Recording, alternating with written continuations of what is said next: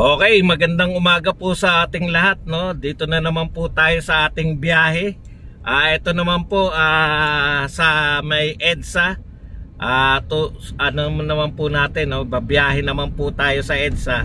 Titignan po natin kung yung pong pagtatayo ng ah, ng ah, Skyway 3 ay meron pong epekto dito sa traffic sa EDSA naman, no. So, narito po tayo. Uh, mag-start po tong biyahe natin dito sa Balintawak Cloverleaf Market no? Dito po tayo. Narito po sa bandang uh, taas kaliwa po natin ay makikita po natin yung LRT uh, LRT 1 no? Yan po yung LRT 1 Balintawak Station. So titignan po natin kung gaano katagal ang biyahe mula po sa dulo-dulo no mula po dito sa Balintawak EDSA papunta po diyan sa uh, TAF no? Yung uh, uh, hanggang doon po sa dulo ng uh, TAF Avenue yun po yung sa dulo naman ng kabila sa EDSA. Okay so narito na po tayo ngayon. Uh, biyahe na po tayo. Ito na po yung uh, sa kaliwa pa rin po natin. Yan po yung uh, LRT1 kalalagpas lang po natin dito sa tinatawag natin Balintawak Station. Ito po, EDSA. Biyaheng EDSA po tayo. Silipin naman po natin kung ano na po nagaganap sa EDSA ngayon. At uh, ilang oras o ilang minuto ang amin tatakin. May traffic pa ba sa EDSA? Ngayon po ay uh, anong oras na ko? 8.40 8.40 At syempre ang ating ever reliable na piloto Si Ekong. Yan po mga kasama natin sa biyaheng to. Dati po eh ito po ay biyaheng uh, oras no? Napakatagal na oras na ginugugol ng mga tao dito dahil sa traffic. Tignan po natin kung uh, nakapekto itong uh, traffic sa uh, EDSA nung nagbukas tong super highway ay hindi pala super highway. Skyway pala. Alas 8.45 ng umaga. Yan po no? Biyaheng EDSA tayo. Medyo hindi po kasing gaan to sa Skyway. Sa Skyway talaga eh talagang mas marami po talaga ang uh, naglalakbay dito sa EDSA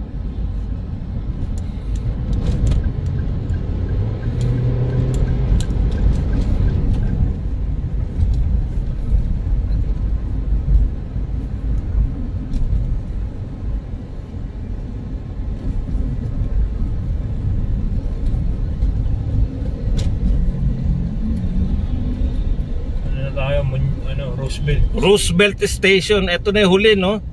Ito po yung huling istasyon ng LRT1. Yan, Roosevelt Station. O Muñoz. Yan, sa bandang kanan po, yan po yung Walter Mart. Mga landmark na ano. Nasa Muñoz po tayo o Roosevelt Station. EDSA pa rin po. Biyaheng EDSA tayo ngayon.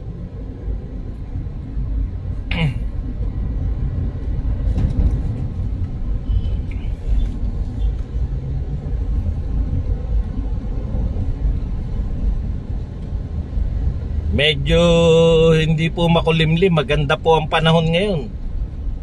Kaya lang mainitan ng laban pagdating po mamaya sa pagdating po natin mamaya sa Manila Bay. Etong tinatahak ko natin eh. Papunta pa rin tayo ngayon na Manila Bay no? Doon pa rin po ang punta natin. Yan. Kaya lang dito tayo. Hindi po tayo nag skyway ngayon. Gusto po nating makita yung EDSA Mustang. Matagal na, ang ganda namang kotse niyan. Ano tawag diyan kong? Mustang. Mustang. Sports car. Sports car ba yan? No, American car.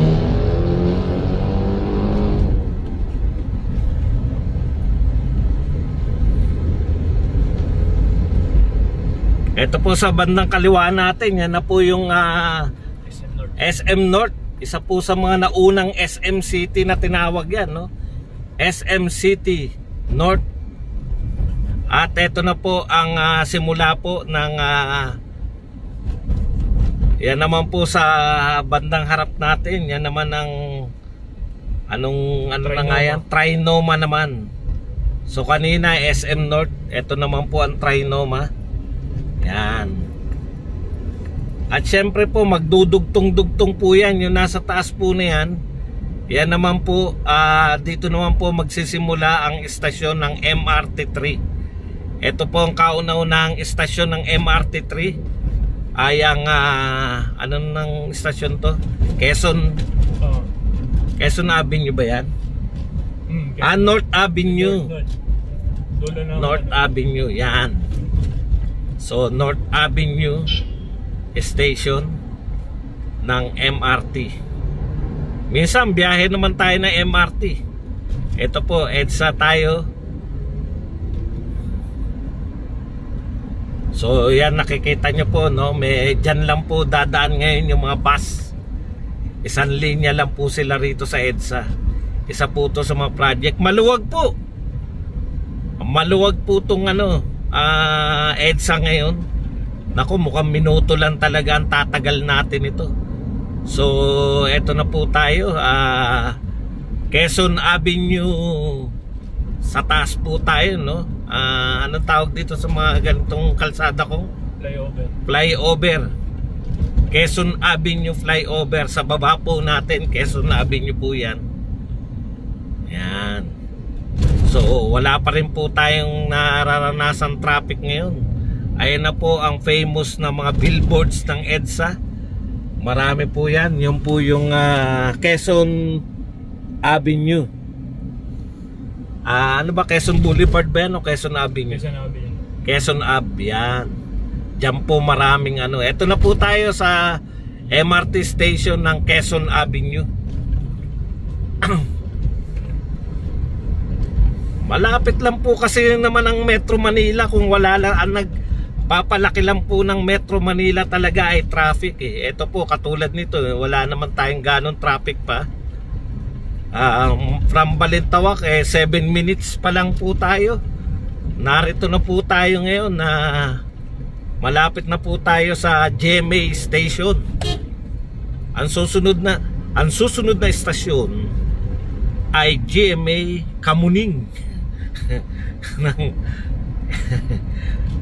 Ayan yatang mga building na yan, ano na yan, eh, no? Building na ng GMA ba yan? Hindi, doon pa sir. Ah, dun pa. Eh, hindi lang natin alam tong kung ano tong building na to. Condominium unit pala yan. Mga condominium pala yan. Borromeo Street pa yan eh. Borromeo Street. Okay. Mga scout, scout. Scout Borromeo. Oo. At yan po, yan po yung famous na pag-ibig, no? Dito yun eh. Ayan, no? Doon sa Ayan po yung, dito, yan pag-ibig pan. Dito po Oo, sa tama, EDSA. Yan po yung pag-ibig pan dito sa EDSA. Anchor Center. At ito na po yung GMA. Yan. Yan po yung building ng GMA.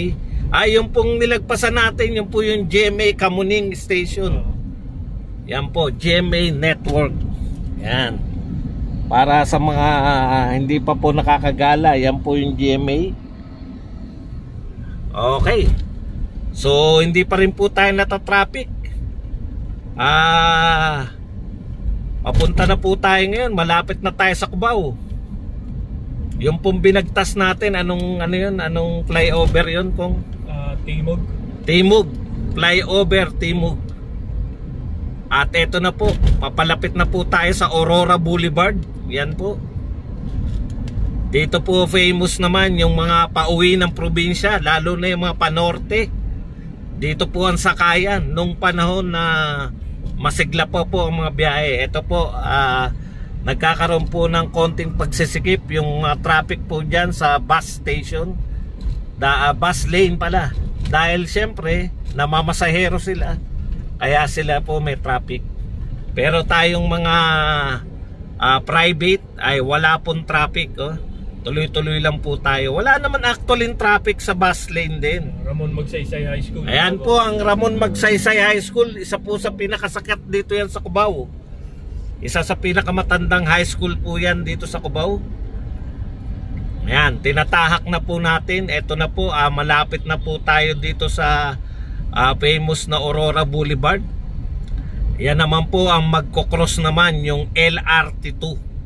Mga sikat na bus station. Uh, at mga sikat na bus station na wala pong ah, biyahe hanggang sa kasalukuyan. Ito po, Superlines.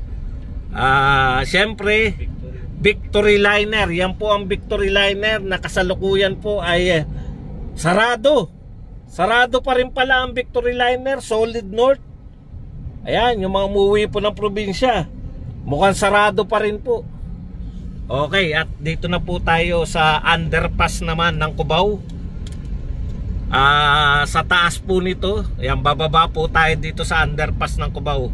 So mula po Balintawak hanggang Cubao ay ah, 10 minutes and 52 seconds. So yan pong nasa taas natin, yan po yung Aurora Boulevard. No, nasa baba po tayo ngayon underpass. Paglabas po natin, yan na po yung Araneta Center sa kaliwa natin.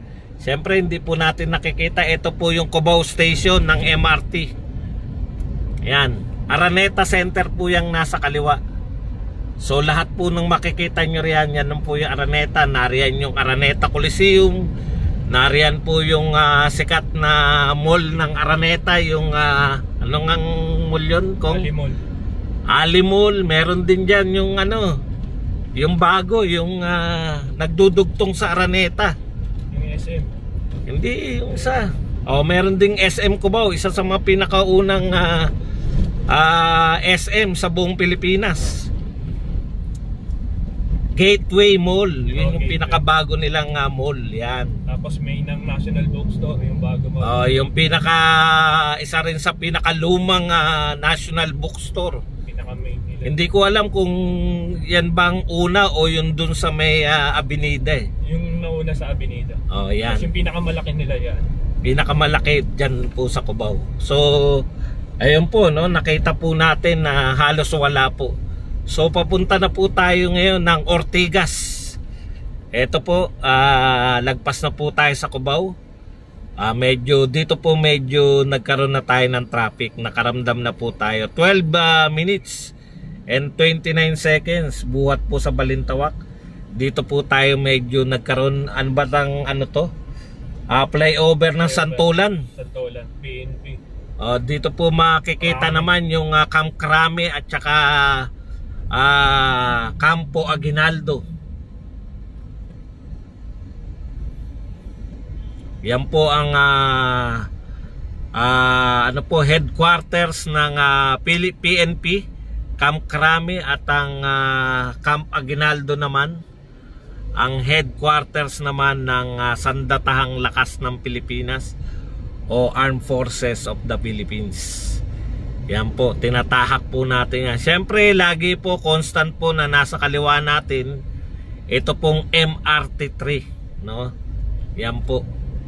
Ito po yung ah, yung ah, flyover ng Santulan. Dito po ako pinanganak, diyan po sa Santulan Road na yan. Squatter po kami diyan noong araw. Malapit po kami sa Krami, nalalakad lang, malapit po sa San Juan Cemetery. Yan po, no? Yan po yung aking yan pong Santulan Road na yan. Yan po yung diyan po ako lumaki. Pero mabilis tayo kahit na trap ganito. Oh, count 30-40 ang takbo natin. 30-40 mabilis. 30-40 pa rin, no? Yung traffic. Dati ba, yung traffic, ilan na? 15-20 ang takbo. 15-20. Ito po yung sinasabi nating Campo Crame. Yan po, PNP. At narito naman sa kaliwa yung ah, Campo Aguinaldo. Nakalimutan natin ipakita yung ano. Nalibang tayo sa bigla ko bigla ko naalala yung aking kabataan diyan sa Santulan Road. Okay, ito na po yung istasyon ng ah, Santulan Anonas. At ah, dito naman po sa bandang kanan natin, diyan po yung sikat sikat na sikat na Green Hills, no? Shopping center. Ayan, ito po may shortcut po diyan. Yan.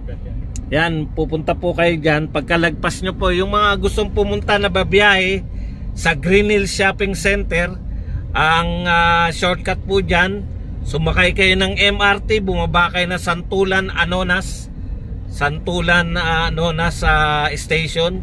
Tapos maglakad kayo ng konti ay ah, meron na kayong masasakyan na jeep papunta po ng Green Hills Shopping Center. Yan po. Isa po sa pinakasikat na shopping center sa San Juan. Ah, magkakaroon din tayo ng mga biyahe dyan. Ito po tinatahak na po natin. Ito po nung wala pang LRT, ito na po yung mga EDSA Revolution. Dito po naganap yun. Dito po nagtutumpok-tumpukan ng mga tao nung panahon ng EDSA Revolution. Yan, 1 and 2. Siyempre, dahil nung EDSA Revolution 1, eh bata pa tayo, hindi pa tayo kasama doon. Nung EDSA Revolution 2, naroon po ako. Out of curiosity, eh, pero may mga flyover na. Ayan po, nakikita nyo yung mga nasa unahan natin na matataas na building. Dahil po yan, Ortigas Center po yan. Nakita nyo naman, parang nasa New York lang kayo, no? Ah, tinatahak po natin yan, no? Ang tatasan ng building na yan. Yan po ang mga building na yan ang tinatawag nating Ortigas Center. O yan, dyan po kayo dadaan sa kanan. Pag kumanan po kayo ng Ortigas, ay papunta po kayo ng San Juan, Green Hills. Sikat na Barrio Fiesta dati. Uh, pinakasikat na Barrio Fiesta. At dito naman, pag kumaliwa naman kayo, dyan naman po yung mapapunta kayo ng ah, ah, Pasig, Pasig ba? Hmm. At mga papunta kayo ng mga saan ba papunta yung mga Tanay, Taytay? Oo. Ayan. Sa kaliwa. Pag sumagat ng kaliwa, Oo. Rosario, Manggahan, O Pasig. ayan, isang katutak po ang flyover dito. Dito tayo sa isang flyover lang. At ito po ang pinaka-famous na hukay dito, no? Oo. Ang lalim po ng hukay na yan. Nasaan na ba yan? Ayun, no? Hindi lang natin nakita. Pero yan po yung POEA sa mga OFW po natin. POEA. Dito po yan sa Ortigas. Siyempre, yan po yung EDSA. EDSA, ano man tawag dyan? Our Lady of EDSA. Sa tabi po ng Robinson's Galleria. Ayan po, ah medyo 17 minutes na po sa ating biyahe at ito naman po ay ah, papunta na po tayo ngayon. Hindi pa po tayo, yun lang po yung papunta na pakyat po ng Santulan. Yun lang po ang medyo nakaranas tayo ng konting pagsisikip. Eto na po tayo sa ano pong istasyon na to, Ortigas Station. At sa- tama. Hindi, Ortigas pa lang yan. Ortigas. MRT Station at sa kaliwa po natin yan po ang isa sa pinakasikat na mall ng SM na natatabunan nitong mga to yan po ang SM Mega Mall yan po yan no Ah, SM Mega Mall po yan di lang nyo gaano nakikita kung gaano kalaki yan at katabi po syempre ng SM Mega Mall ay yung ah, Shangri-La EDSA Shangri-La Mall. Yan. Pero ito, SM Mega Mall pa rin. Ito ng kabila, yung panay ano na yan. Ay hindi pa, SM Mega Mall pa rin pala yan. Si At syempre, ito naman sa kanan natin, Star Mall. Pag-aari po ng pinakamayaman na Pilipino sa kasalukuyan, si ah si Villar. Bilyar. Ayan po sa kanan. Oh, narito po tayo sa ilalim. Ah, ang taas po nito yung crossing. Yan po. So yan po yung ah, Show Boulevard.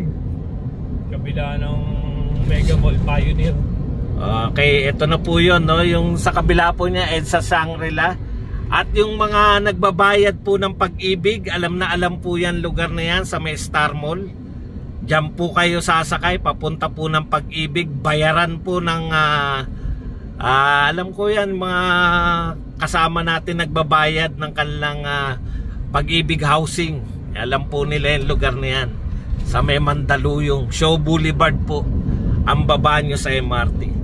Okay, ah, tuloy-tuloy po tayo. Sa ilalim po tayo ng crossing. Sikat din po yung crossing na yan. Papunta ng mga Antipolo. Ah, basta yung mga Tanay, mga Rizal. Papunta po na Rizal. Diyan din po ang daan nila.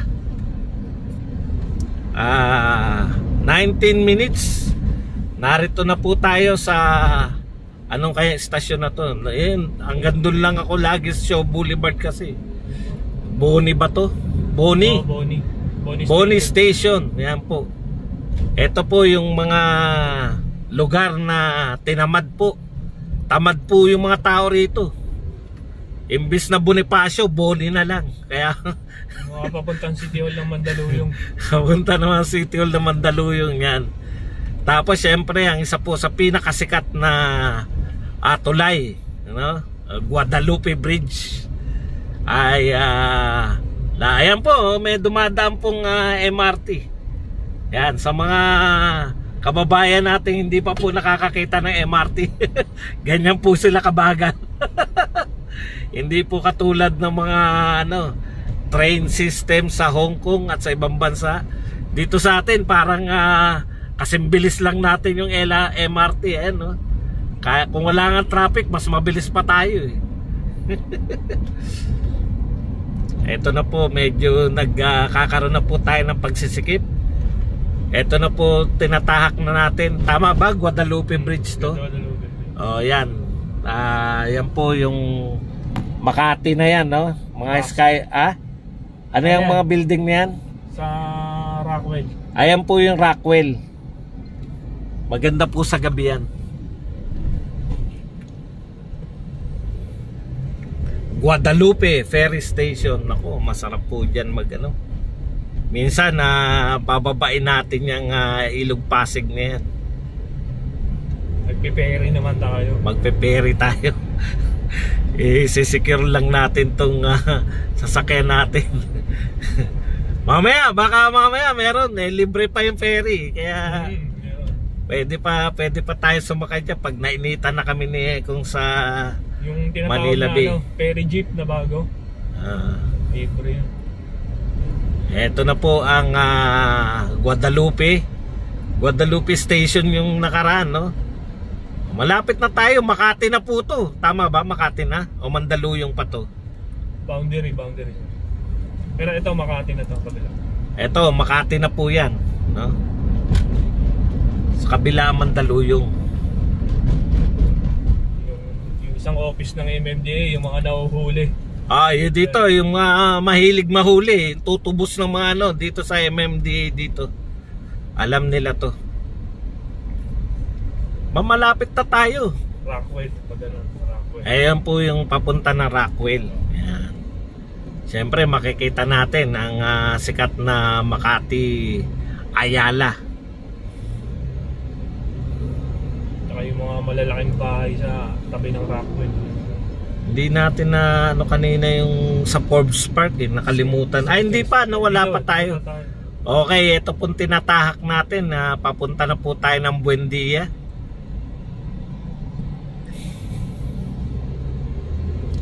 Mga gated community.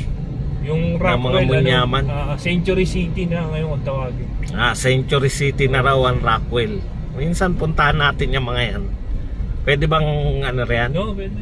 Gumala dyan. No. Magbi-BGC, yun pag nag-BGC trip tayo. Oh. BGC tapos yung Rockwell. Ito po, nasa ilalim po tayo ng ah, nagagandahang mga flyover dito po sa Buendia, Makati. Yan. Tapos susunod na po yung Ayala. Minsan po, ah, yan naman ang ah, dadayuin natin. Papasok tayo sa Ayala, Makati. Ang pinakamayaman pong ah, syudad sa buong Pilipinas. Yan po ang Makati. Hindi pa po sila tinatalo ng ah, Tagig. Pero balang araw, baka, talunin na sila ng Tagig.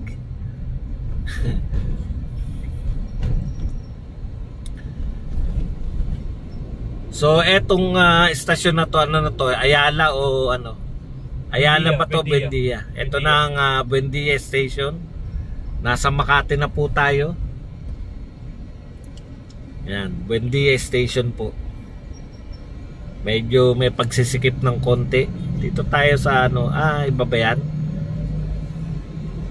Alabang. Pass eh. Ah, pass lane.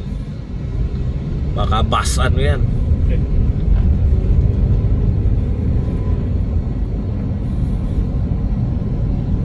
May labasan yan doon pag ano. So yan po yung Makati. Minsan po, dada, ano naman natin yan. Babiyahe naman tayong Makati, BGC. Next week, yan po ang pupunteryahin natin. Ah, para nakikita natin ano muna tayo, Metro Manila muna tayo. Yung sa mga hindi alam kasi akala nila bus lane to, pwede kang pumasok dito sa pag ano ng Buendia. Pwede pumasok dito. Ang labas mo doon sa may paglagpas ng Ayala. Ah. Okay, pero ito bus lane din to. Bus lane din to sa din. Ah, bus lane din. Okay. So, yan na po yung sa taas niyan, yan na po yung ah, overpass papunta yan ng Ayala. So, underpass po tayo uli. Welcome to Makati. Ang ganda po ng ah, ano rito. oh. Underpass nila oh. Hindi po simpleng madilim lang. May mga butas-butas na wow. Napakaganda parang tunnel na ano. Danger zone, keep right. Yan.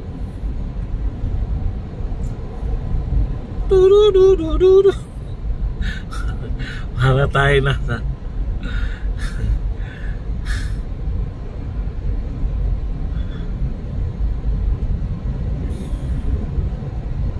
Pag malabo-labo mata mo nito,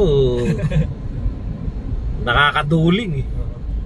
Oh, yan, di ba? Oh, eto na po tayo. Makati pa rin to. Ah. Tapos yung kabila yung Forge Park. Ayan, yung sa kabila niya, yung Forbes Park po na mga pong mayaman. Minsan pupuntahan natin yan. Huwag kayong mag-alala. Pag biyaheng BGC, makikita po natin yan. Papasok kami sa loob. Papasok kami sa bahay ni Pacquiao. At kukuha kami ng isang belt.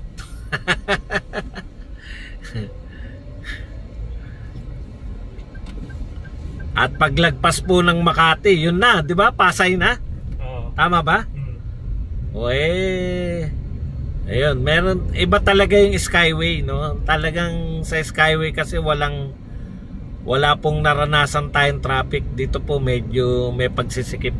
So ang ah, tinatakbo po natin sa bayan ngayon, ilan tayo? Ilang kilometers per hour tayo? Aba, mabilis pa rin. 40. 40 40, kilometers pa rin kahit medyo traffic. 40-50. 40-50 pa rin tayo. Yan. Medyo may pagsikip lang ng konti. Ito na po yung ah ah yan na yun, no? yung Ayala. Ayala Station. Okay. So nakita na po natin yung ah, nakalagay na ron, to Rojas Ah, Boulevard. Magallanes Station. Ah, Magallanes na. Tapos na tayo sa Ayala. O yung sa ilalim Sa ilalim nga pala yung Ayala nung ah, nasa tunnel tayo. Magallanes tayo. Doon po pala yun. Ah, ito po yung sangasangang ano to, sangasangang flyover. Ito na yun, no? Pag sa taas po to, maganda po to dahil ah sanga-sanga po to eh. Eh kaso, syempre, hindi naman natin makikita rito. Osmeña yung baba, Osmeña. Oh, maraming ano po yan, sa lasalungat po na ano, maganda po pag sa taas nyo tinignan yan. So pagbaba po natin dito, ay Pasay na po. Pasay na tayo. At yan na yung huling istasyon ng MRT. Aba, mukhang matatarget natin na wala pang 30 minutes. Yan na yung Pasay Taf. Oo, Pasay yun. Yan na yung huling-huli estasyon. Okay. At dito na po medyo sumisikip ang ating ah, daanan dahil ah, Bangkal. Maram Ayun, Ha? bangkal. Bangkal. bangkal. Yan. Makati pa rin. So Makati pa rin. Ah, malapit na po tayo. Inahabol na po natin. Na huling istasyon na po ng EDSA. TAF EDSA. No? EDSA po sa LRT. Oo. 1. Sa MRT naman ay istasyon ng ah, TAF. So yan po yung pinakahuling istasyon ng ah, eto na yun. Yung pinakahuling istasyon ng MRT 3 ay ah, malapit na malapit na po tayo. O bit hindi tayo sa baba ay sa taas kong. Papunta ng ano yan, ng NAIA. Domestic. Ah, domestic. Oo. Ang labas mo niyan, Terminal 3. Hindi pala tayo pwede Oo, ron. Pakaliwa Dito tayo. lang, pakaliwa. Oh, ah, oo, yan yung ano, yan yung ah, papunta dati ng Nichols. Oh, Nichols. Papunta Oo. ng Nichols. Oo, kasi Nichols Villamor. dati. Oh, Villamor. Villamor Air Dating Base. tawag na Nichols Villamor. Nung Yun, una kami ah, po, kasi dyan po sa Villamor Air Base, nag-aral po ako dyan ng unang ah, taon ng kolehiyo. Pero nag-transfer po ako.